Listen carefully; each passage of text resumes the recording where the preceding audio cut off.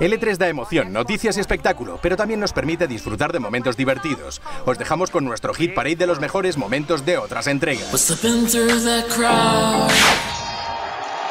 Antes de que el mundo entero decidiese criticar cada cosa que hacía Nintendo en L3, todavía sentíamos que la simple presencia de Miyamoto daba para hacer un Woo bien grande. Cuando Miyamoto en plena presentación de Twilight Princess apareció en el escenario de L3 2004, blandiendo la espada maestra, casi se cae el mundo abajo. Como te echamos de menos, Shigeru. Uh, Genji 2 is an action game aunque luego fue un éxito, la conferencia del E3 de 2006 de Sony tuvo sus momentos que daban para meme. Cuando intentaban vender las bondades de la consola y justificar su elevado precio, mostraron una pelea un poco ortopédica con un cangrejo gigante en Genji Days of Blade. Años después, en 2013, llegaron a hacer chistes al respecto cuando presentaban Octodad. Now, although historically accurate, this game does not contain giant enemy crabs. This screen also brings back memories for me as well. De nuevo, año 2006. Kazirai no era tan bueno como Andrew House y su voz aguda.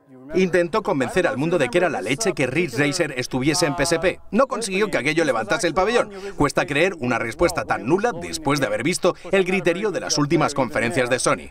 Game is powered by Namco. It's Ridge Racer. Ridge Racer. Remember that one? All right, so let me uh, let me go right ahead. Are going to be able to download an REM track pack algo parecido le pasó en la conferencia de Microsoft del E3 2008 a Kei Yang, presidente de Red Octane, cuando estaba preparado para un baño de multitudes al anunciar que el grupo Metallica se unía a la fiesta de Guitar Hero World Tour. Puso hasta el puño en modo cuernos cuando lo dijo. Nadie hizo Who. Pobrecillo.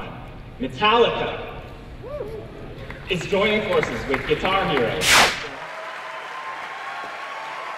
Un año después, la conferencia de Microsoft tenía un poco más de injundia, y en un escenario consiguieron que estuviesen ni más ni menos que las viudas de George Harrison y John Lennon y Ringo Starr y Paul McCartney. Eso sí, nada de juntos. Ni siquiera para hablar de videojuegos la buena de Yoko y el bueno de Paul cedieron a compartir momento. Cada uno por su lado, juntos pero no revueltos.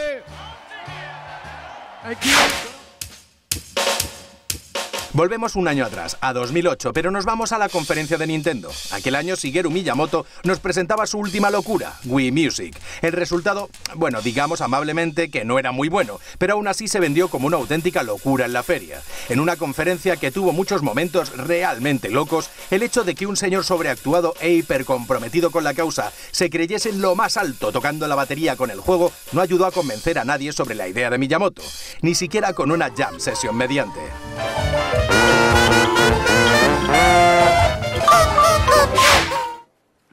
Spielberg dijo que se había inventado algo mejor que la rueda, pero eso no quita que haciendo una muestra de las posibilidades de Kinect, Kudo Sunoda se encontrase con todo un bluff.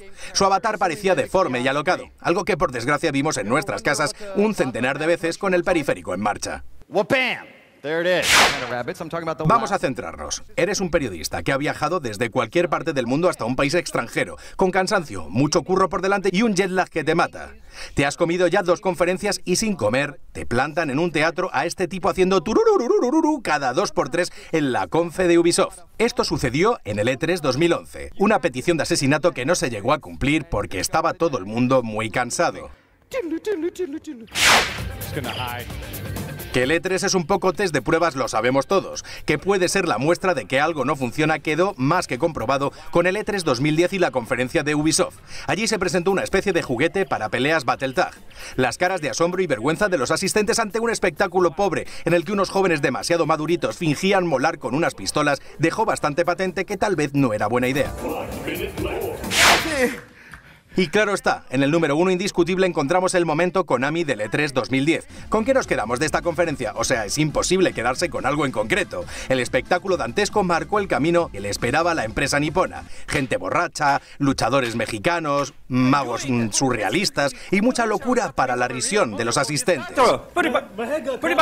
Hasta aquí todo por hoy. Próximamente os vemos en nuevos vídeos de Vandal Televisión. Hasta la próxima.